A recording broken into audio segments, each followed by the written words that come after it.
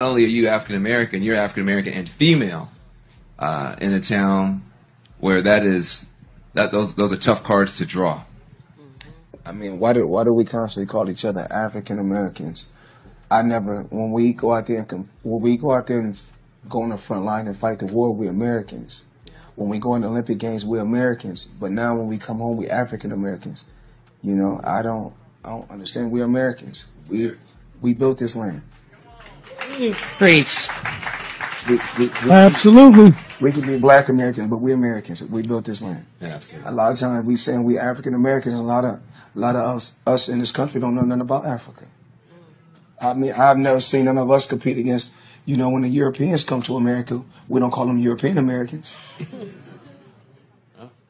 Good. And so, Hope y'all catching these gems being dropped. Hope they're catching them. what do you think? That?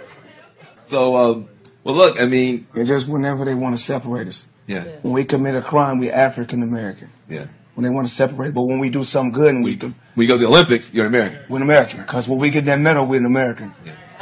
So there's a difference. That's good.